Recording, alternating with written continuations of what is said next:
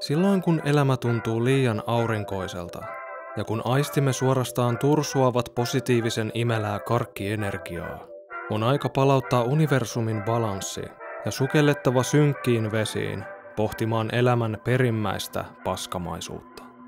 Siksi olen valinnut tämänkertaisen videon aiheeksi Annalise Mitchellin, jonka traagista elämäntarinaa on käytetty pohjana muun muassa elokuvalle Emily Rosein riivaaja. Lähdemateriaalit löytyvät alta.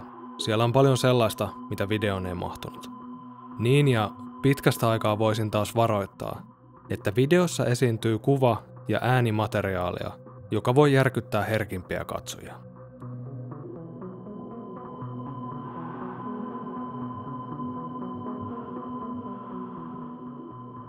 Ennen sairastumistaan Annalise Mitchell oli tasapainoinen, ystävällinen ja kaikin puolin mukava tyttö.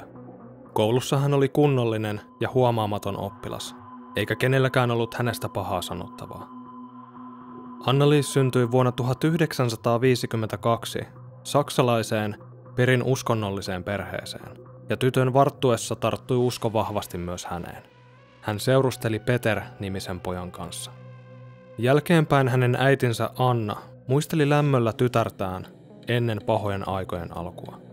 Hän piti elämästä hyvin paljon, ja nokkelana tyttönä sai kuuleman mukaan usein kehuja koulunsa opettajilta ja professoreilta. Tytön hyvin tuntenut pappi Ernest Alt kertoi, että Anna-Liis puhui harvoin itsestään. Hän keskitti energiansa mieluummin muiden auttamiseen. Tästä esimerkkinä, kun perheen sisällä syttyi kiistoja tai väittelyitä, hän asettui usein nuorempien sisarustensa puolelle, koska he eivät osanneet vielä kunnolla puolustaa itseään. 16-vuotiaana Anna-Liis kaatui yllättäen koulun käytävällä ja vaipui minuuttien ajaksi transsimaiseen tilaan.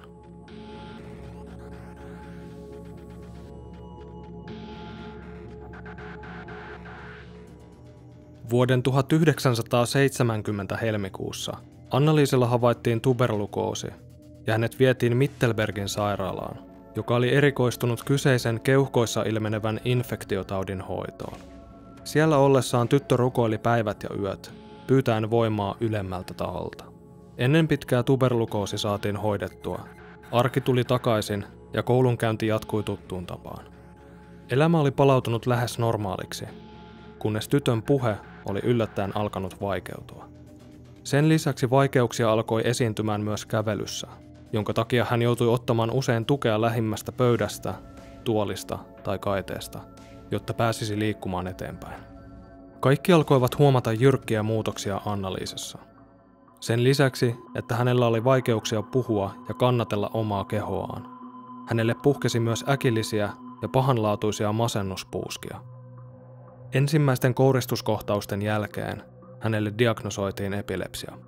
Lääkärikäyntejä, lääkkeitä ja erilaisia hoitomenetelmiä kesti kymmenen kuukauden ajan, kunnes lääkärit luovuttivat Annaliisen suhteen.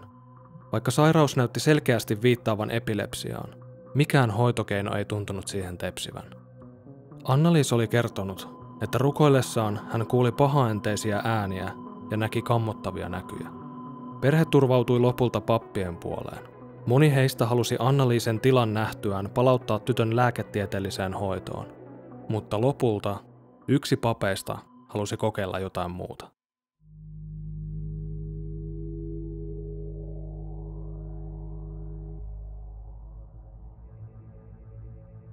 Tässä vaiheessa Annaliisen tarina alkaa muuntua tavallisesta sairauskertomuksesta omituisempaan, yliluonnollisempaan suuntaan. Hänen äitinsä kertoi omituisen tarinan, kuinka eräänä iltana, kun perhe oli kokoontunut ruokapöydän ääreen, Annaliisen kädet näyttivät jostain syystä normaalia suuremmilta. Itse asiassa jopa niin suurilta, että ne olivat äidin mukaan tuplasti sen kokoiset, kuin mitä tyttären kädet normaalisti olivat. Perhe oli luonnollisesti reagoinut tähän, ja kun Annaliis huomasi tämän itse, hän oli parahtanut, minulla on mustat kädet, voi hyvä luoja. Samoihin aikoihin tytön näyt muuttuivat yhä synkemmiksi.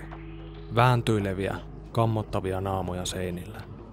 Lääkärit olivat nostaneet kätensä ilmaan, ja paikalle kutsuttiin useita pappeja, joista yksi oli Arnold Rentz. Kun he rukoilivat yhdessä Annaliisen vierellä, tyttö korisi matalalla, maskuliinisella äänellä, jota oli vaikea uskoa hänen omakseen.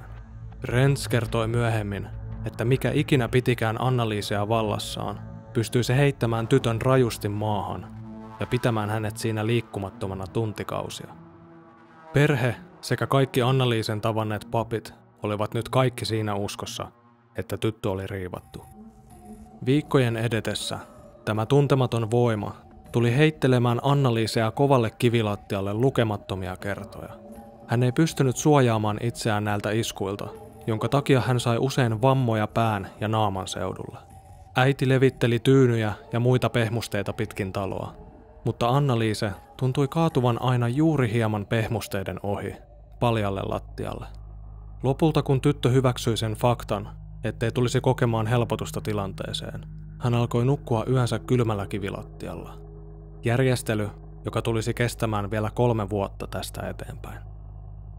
Kivuliaat päivät vierivät eteenpäin, kun näkymättömät voimat heittelivät Annaliisia ensin yhdelle seinälle ja paiskasivat sitten toiselle.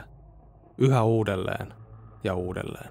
Hänen naamansa oli ruhjeiden peittämät, silmät turvonneet umpeen. Suuri osa hampaista oli haljennut rikki, kun tyttö oli kohtausten aikana purrut kivilattiaa tai seinän kulmia. Manaukset aloitettiin Arnold Rentsin johdolla.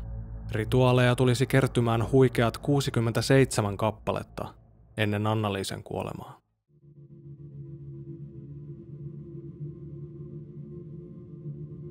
Ernest Alt ja Arnold Rentz saivat piispalta kirjallisen luvan aloittaa virallisen manauksen. Kun rituaalit saavat alkunsa, he yllättyivät pahanpäiväisesti. Annaliisen kehon vallanneet demonit alkoivat puhutella heitä, ilman pienintäkään provosointia. Papit aloittivat kuulustelun, jonka tarkoituksena oli selvittää, mitä oli tapahtunut ja miksi henget olivat vallanneet tytön kehon. He esittivät rituaaleille tärkeitä kysymyksiä, kuten keitä olette ja mitkä ovat nimenne. Näiden kysymysten avulla he saivat selville, että Annaliisen kehon sisällä myllersi yhteensä kuusi demonia. He olivat Judas Iskariot, Lucifer, Hitler, Valentin Fleisman, langennut pappi, Nero, Rooman tyrannikeisari ja Kain, ensimmäisten ihmisten poika. Osa demoneista alkoi yllättäen tehdä tunnustuksia. Annaliisen äiti kirjasi ylös, mitä kukin demoni sanoi vuorollaan tytön suun kautta, mutta pian puhetta tuli niin paljon ja niin nopeasti, ettei äiti pysynyt enää mukana. Ja tästä syystä he saivat piispalta luvan manausrituaalien äänittämiseen. Seuraavaksi kuulet Annaliisen normaalia ääntä ja sen jälkeen otteita siitä, miltä hän kuulosti manauksen aikana. Ja, ich, auch für die anderen Leute, damit die nicht die kommen und so. Aber dass das dann so schlimm ist und so grausam und so furchtbar.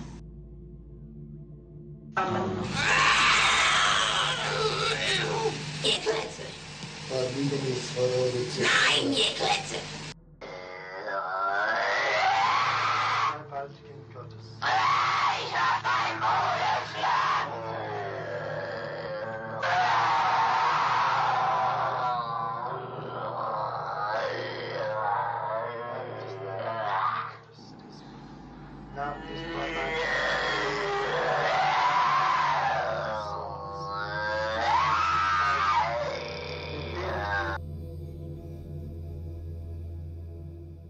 Annaliis väitti näkevänsä demonien hyppivän ja tanssivan lattialla hänen edessään, ja kyseli ympärillä olevilta ihmisiltä pelon sekaisena, että eivätkö he näe, mitä hän näkee. Aika ajoin tytön katse muuttui tuliseksi, joka oli täynnä vihaa ja raivoa. Hetken kuluttua hän vaikutti olevansa taas oma haurasi itsensä. Tytön poikaystävä, Peter, oli prosessissa vahvasti mukana. Hän piipahti usein kylään, kutsun kanssa tai kutsumatta, viettääkseen aikaa Annaliisen kanssa – Siitäkin huolimatta, että Annaliis oli erittäin väkivaltainen kaikkia läsnäolijoita kohtaan.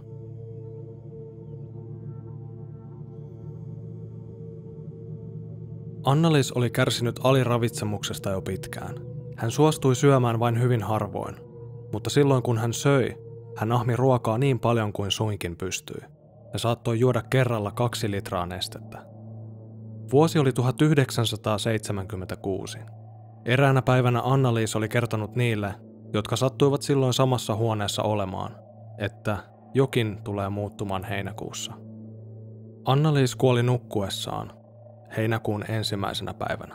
Paikalle kutsuttiin lääkäri, joka antoi poismenosta virallisen lausunnon. Sen jälkeen ja lain velvoittamana hän ilmoitti viranomaisille, ettei yllätys yllätys nuori nainen kokenut luonnollista kuolemaa. Kuolinsyyksi todettiin nälkiintyminen ja elimistön kuivuminen.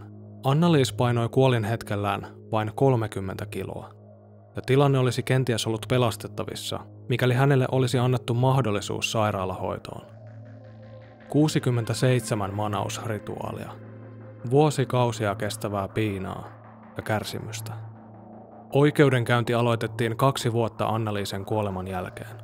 Vanhemmat ja rituaaleissa toimineet papit saivat syytteet kuolemantuottamuksesta, mutta lopullisen tuomion saivat vain papit, joka tarkoitti sakkorangaistusta. Kirkko muutti myöhemmin kantaansa ja myönsi, että Annaliisen pään sisällä saattoi sittenkin myllertää pahanlaatuinen skitsofrenia, eikä suinkaan Hitler ja kumppanit. No, mitäs pienistä.